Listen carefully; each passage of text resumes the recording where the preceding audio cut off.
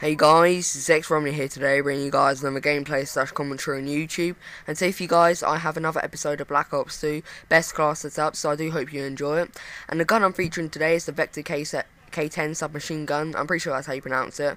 But anyway, this gun is a really, really good weapon. Um, obviously, I'll go into more, detail on it in a second. But anyway, the gameplay behind is a double spawn gameplay on that raid on 6v6 domination. And we do actually draw this gameplay, which is pretty funny because I think they captured a flag in the last 10 seconds, I think it was, and then in like the last second, the um, they got a draw against us, so it's pretty unfortunate. But then again, at least I didn't lose, so I don't like uploading gameplays where I lose. So I do hope you enjoy the gameplay anyway. And the attachments I'm using today on the Vector are extended mag, the extended clip attachment, and the long barrel attachment. And I am using the long barrel just because, as I said earlier in earlier video, um, it increases the uh, range. I was about to say damage, but it increases the range. And the Vector hasn't got the best damage and range. I think the damage is okay. I wouldn't like complain about it. I think I still think it's good, but it's not as good as what it is on the, um, a lot of the other submachine guns. And the range isn't that good either. But the um, long barrel attachment increases the range.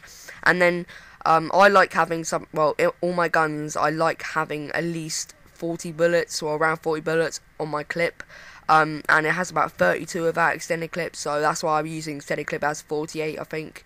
Um, I think it's 48, and it's really good with extended clip. Extended clip and long barrel makes this gun an absolute animal, and it's got very, um, it's got a minimum amount of recoil. Literally, the recoil is there's none of it really. There is a tiny bit of recoil, but it's really easy to handle, and it's just a really good submachine gun at close range, and you can use it long range. So overall, it's a very good weapon. And anyway, let's get into the perks. Um, the perks are actually exactly the same as um, earlier's class setup, and as you know, it's perk one greed with hardline and flat jacket, perk two greed with Scavenger and Toughness, and then I have C4 on.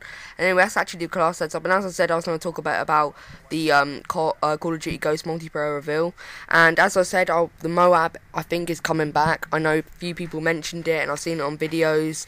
And yeah, I don't think I'm not sure if it does exactly the same thing, but it does something, and it's going to be a high kill streak. So um, I don't don't quote me on it. I'm pretty sure it's coming back. People made videos, and I'm pretty sure of that. And yeah, that's really really good. Um, that's going to make the game much funner for me, and YouTube wise, it'll be quite fun to watch.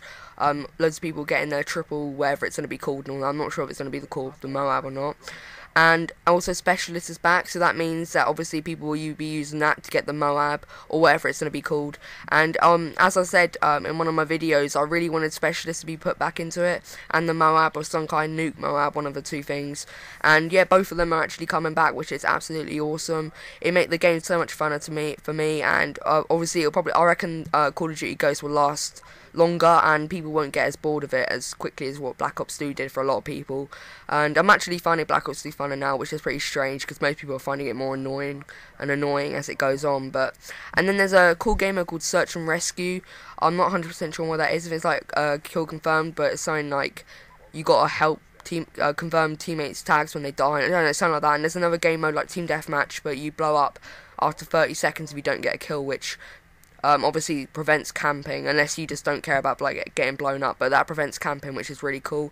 And that sounds like a really cool game mode that I'll probably play quite a lot because um, it's probably going to be quite a fast action-paced game mode as you blow up after 30 seconds of not getting a kill.